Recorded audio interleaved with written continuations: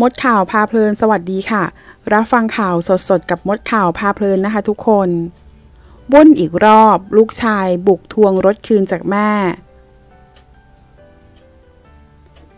จากเมื่อวันที่ 21 ธันวาคม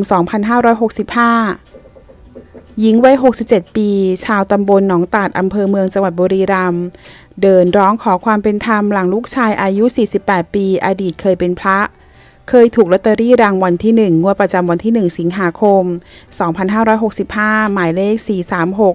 436594 ได้เงินรางวัล 6 ล้านบาท กลัวว่าภรรยาอายุ 50 ปีที่เพิ่งจะแต่งงานอยู่กินกันได้ 3 เดือนจะหลอกลวงเอาเงิน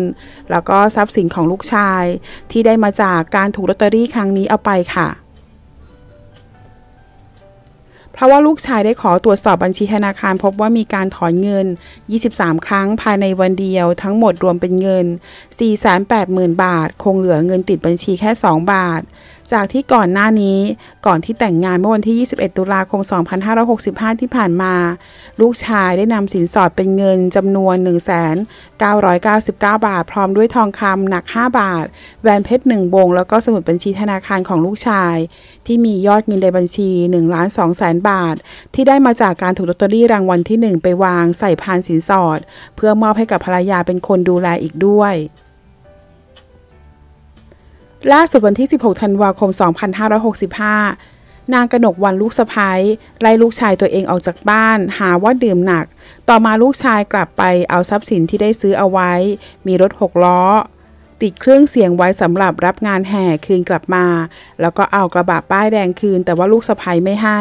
แจ้งตำรวจหาว่าลูกชายบุกรุก จากนั้นจึงให้ลูกไปแจ้งความไว้เป็นหลักฐานเพื่อเรียกร้องสิทธิตามกฎหมาย และกลับมาอยู่ที่บ้านกับแม่ แต่พอเช้าวันที่ 20 ธันวาคม หลังจากลูกสะพ้ยรู้ว่า ลูกแจ้งความแล้วก็กลับมาตามลูกกลับไปอยู่ที่บ้านด้วย กลัวว่าลูกจะถูกหลอกจนหมดตัว พอไม่เหลืออะไรกลับมาหาแม่ทั้งที่เงินถูกลอตเตอรี่ก็ไม่เคยให้แม่เลย บ้านที่สร้างให้ก็ยังไม่เสร็จ ซึ่งแม่ยืนยันว่าที่ออกมาร้องเรียนไม่อยากให้ลูกชาย และลูกสะพ้ยผิดใจกัน แต่ว่าเป็นห่วงลูก ต่อมาพบว่านางกนกวันเป็นลูกสะพ้ยกล่าวว่าสาเหตุที่ถอนเงินในบัญชีเป็นเพราะว่า ถ้าหากเงินยังอยู่กลัวว่าสามีจะถอนเงินไปดื่มจนหมด ปัญหาต่างๆ เราเคลียร์กันหมดแล้ว ส่วนเรื่องที่แม่สามีกลัวว่าจะโดนหลอก เรื่องนี้แม่ไม่ต้องกังวล ส่วนเรื่องบ้านที่กำลังสร้างตอนนี้ก็สร้างเสร็จแล้ว ยังรักแล้วก็เคารพเหมือนเดิม จึงขอความเป็นธรรมจากสังคมด้วย เพราะว่าแม่ออกมาพูดแบบนี้คนก็เข้าใจผิด พร้อมยืนยันไม่เลิกกับสามีแน่นอน ไม่ต้องมีใครมายุแยง เพิ่งจะมารักกันตอนที่รู้จักว่าเขาเองยอมกล้าเอาเงินเอาทองมาให้เรา มันเหมือนซื้อใจเรา นางกนกวันกล่าวค่ะ จากนั้นทางด้านสามีก็จุบแก้มภรรยาโชว์นะคะ บอกว่าคืนดีกันแล้ว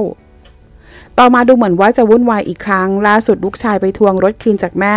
และมีการต่อว่าแม่ด้วยคำพูดที่ไม่สุภาพ ประกาศตัดแม่ตัดลูกพร้อมทั้งทวงคืนที่ดินอีกด้วยค่ะ ขอขอบคุณข้อมูลจากสยามนิวค่ะ ถ้าเพื่อนๆชอบคลิปนี้ ฝากกดไลค์และกดกระดิ่งติดตาม เพื่อเป็นกำลังใจให้กับช่องมดข่าวพาเพลินด้วยนะคะ ขอบคุณค่ะ